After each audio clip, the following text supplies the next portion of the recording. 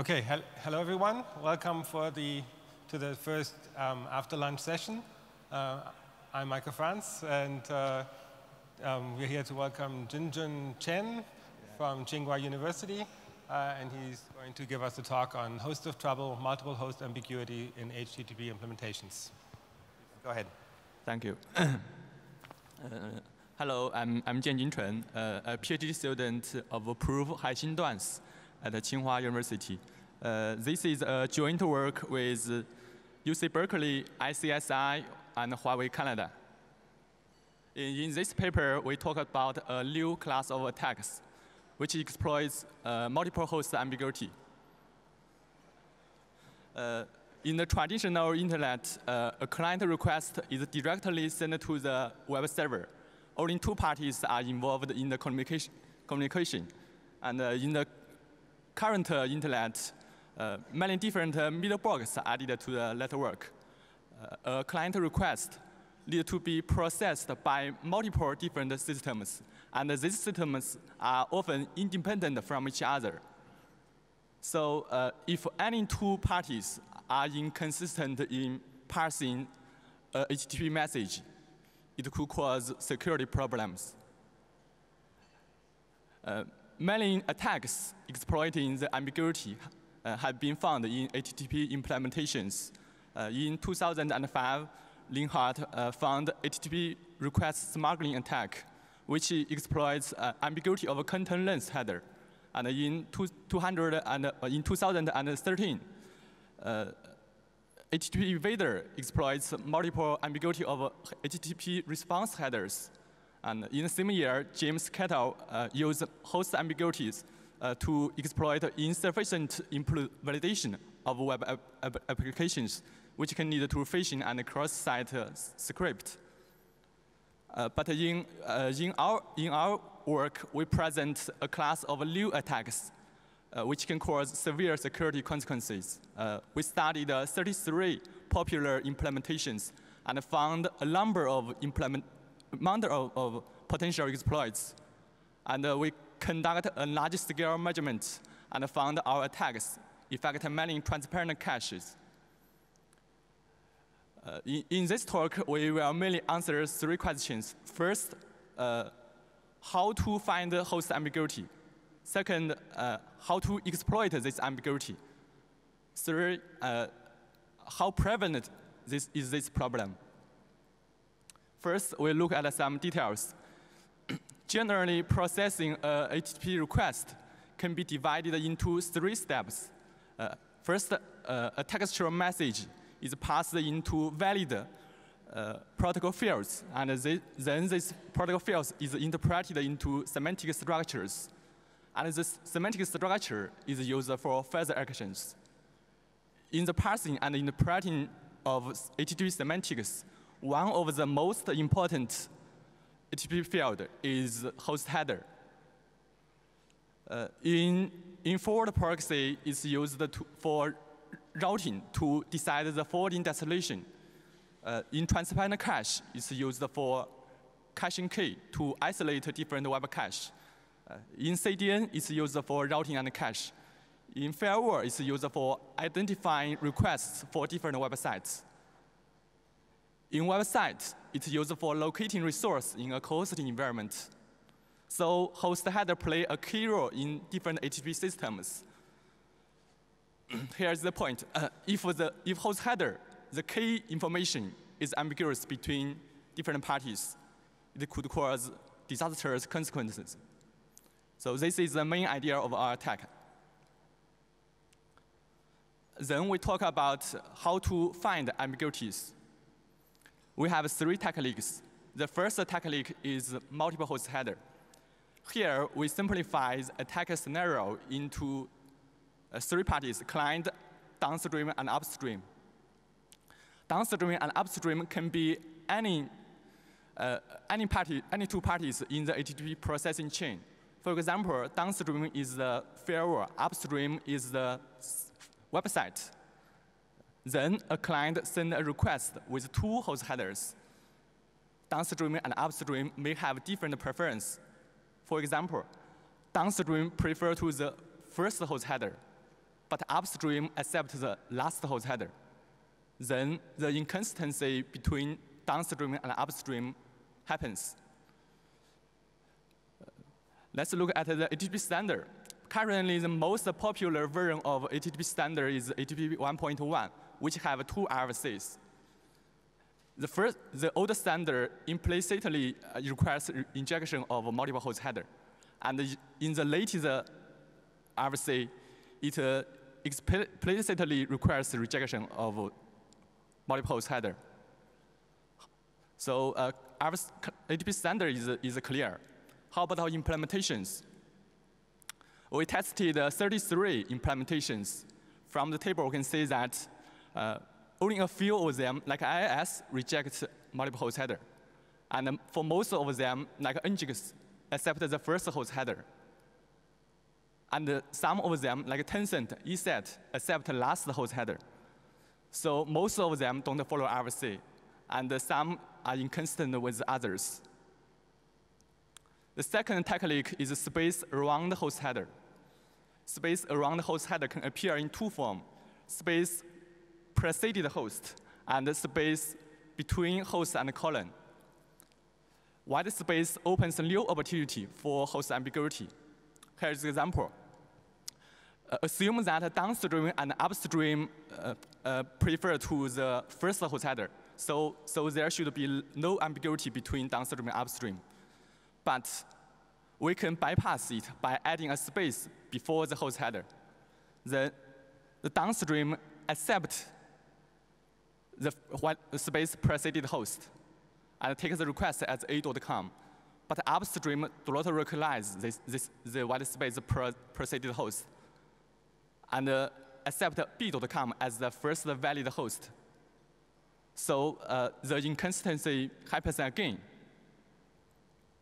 A HTTP standards, the old, uh, uh, the old standards uh, state that uh, space preceded host must be processed as a fault line with the previous header.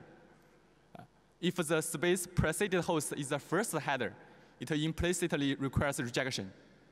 And for the space between host and colon, uh, it implicitly states that systems could uh, recognize it. But in the latest standard, it clearly uh, states that systems should reject space around host headers. How about our implementations? Uh, from the table, we can see that uh, implementations vary in processing space around the host header. Some of them recognize it, and some don't recognize it. Uh, and most of them don't follow the latest standard. The third technique is absolute URI as a request target. Uh, host in absolute URI is another ambiguity of another source of ambiguity. Uh, for example, downstream prefer to the host in absolute URI, but upstream, prefer to host header. Another source of ambiguity is the schema of the absolute URI. Assume that uh, downstream and upstream, upstream prefer to the host in absolute URI, but we can bypass it by, by using this, this invalid, uh, uh, this invalid schema. But downstream recognize this schema and accept uh, this request as a.com. And upstream don't, do not recognize this schema and take the URI as a relative URI. So he accepts the request as b.com. So inconsistency happens again. Uh, HTTP standard. Both standards uh, uh, requires systems should prefer to host the in the absolute URI. But for the schema of absolute URI, both standards uh, don't have a clear description. Uh, HTTP implementation. All the implementations follow the latest standard. Uh, prefer to the host in absolute URI except Akamai. How about implementations? uh, for the schema of, of absolute URI, uh, most of, some of them uh, accept any schema, and uh, some of them only accept HTTP or HTTPS. Notice that the three, all the three techniques can be combined together. So the space of host ambiguity can increase once again. Uh, now we can craft, we, we can, it's easy for us to craft an ambiguous request to cause inconsistency. Then we will show uh, five attacks exploiting this, um, this ambiguity. Uh, this, this attack can be divided into two, two categories, uh, cache poisoning and filter bypass. The first attack uh, exploit the situation when attacker's website and the victim's website are hosted on the same server. Uh, it can cause CDN cache poisoning. Attacker can send, send a request like this. Uh, but Akamai accepts the first host header. When it forward to the upstream, they change the order of the request. Then Squid accepts the first, first, uh, first the white space preceded host. Then Akamai uh, cache attacker's content as victim.com. Uh, the second attack uh, requires CDN or requires attacker's website and uh, victim's website hosted on the same, same CDN, use the same CDN service. Uh, this requirement is easy to be met. The, uh, then attacker send a request like this. Uh, Apache traffic server do not recognize white space preceded host. So he think victim.com is the first host. But, but Akamai recognizes white space preceded host. So he accept the request as attack.com. Then Apache traffic server will cache attacker's resource as victim.com, which result in cache poisoning. Uh, the third attack is, is more serious. It can cache poisoning any, any HTTP website. Uh, the cause is, is, a, is a, a inconsistency between internal model of script. How, the attack works like this. Attacker establish a collection to attacker's server. Then he send an ambiguous request through this collection. Then Squid will check the destination IP address for consistency, but it is checked against as attacker.com. Then attacker server return a malicious reply. Then Squid cache it as a victim.com. So uh, this inconsistency causes uh, cache poisoning. When victims visit victim.com, it will get attacker's malicious reply. So this, this attack, uh, in fact, mainly, uh, in fact, have a bigger impact on the current internet since transparent cache has been widely deployed in the current internet. Uh, another attack vector is, is a filter bypass. Uh, inside the firewall uh, blacklists uh, blog.com. Then attacker can send a request like this to bypass the firewall. Uh, ESET accepts the last host header, so he believes this request is going to is going to alone.com and download does, doesn't block it. But Nginx recognize it as a blog.com. Then attacker can get content from attacker.com. First attack is the web application firewall bypass. Uh, the core idea of, the, of, of this, uh, this attack is to make, uh, make attacking, make, make CDN believe that the attacking request belongs to WAF in alone.com. Then does not enforce any security policy. Uh, for the detail of this attack, you can, you can find it in the paper. Uh, now, uh, in the previous, we have uh, five different attacks. Uh, we have much more uh, similar, similar examples. We tested uh, uh, 33 popular implementations and found 202 different combinations that could be exploited.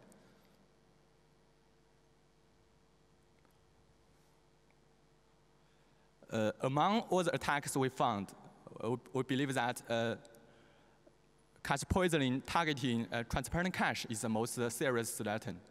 So we want to know how many transparent cache in the current internet are available. To answer this question, we conduct uh, experiments, measurement experiments by using online flash advertisement. We implement uh, 16 different test cases into our flash. And we brought uh, 1.5 million impression on uTorrent platform. We also hosted our testing flash on a large website for 20 days. Let's look at the measurement results. Uh, in both experiments, we found around 97% of internet users served by a transparent cache uh, can be affected.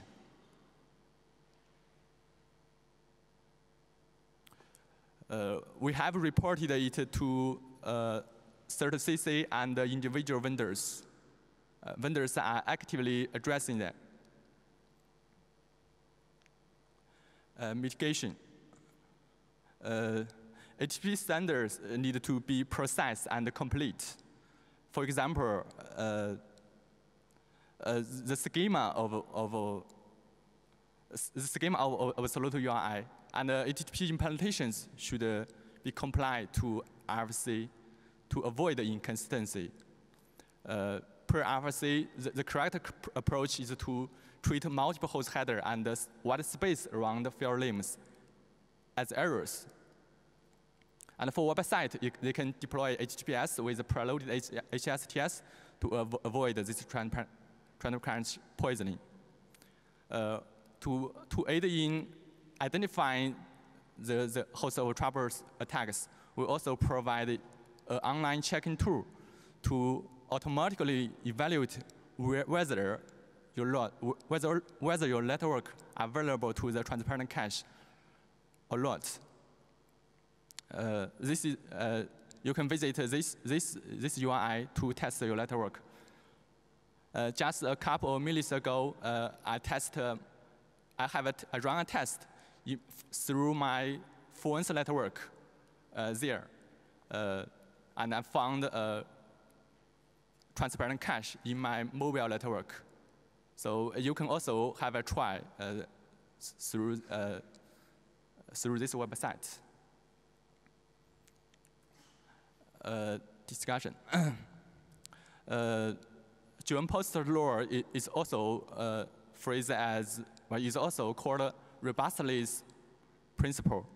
Although it is a good des design principle uh, to, to robust network system, but in an adversarial situation, it could cause uh, potential exploitable ambiguities. So developers should be aware of limitations of Jon uh, Postel's law. Uh, second point is uh, when we review the, the code of uh, the code of implementations, uh, we found some implementations cite uh, RFC, the latest RFC, RFC 7230 here and there but they still did a wrong implementation. So, so we, we, we think uh, uh, specification have the, uh, can be improved because the specification written in natural language inevitably uh, introduce ambiguity. So maybe we can provide a reference implementation. Uh, it could uh, help to avoid ambiguity. The third point is, is when design protocols, we should try to avoid uh, introduce overlapping semantics in, in protocol fields rather than uh, resolve such issues by specification rules because even if uh, you uh, have uh, you you have specifications in in in uh, have rules in specifications, but implementations may still do not comply with the RFC. Uh, you can see it from our, our work. Uh, finally, our work also highlights the, the importance of standard compliance. So uh, is it possible to automatically uh, evaluate uh, consistency between implementation and the standard? This, this is a research question. Okay, that's all. Thank you.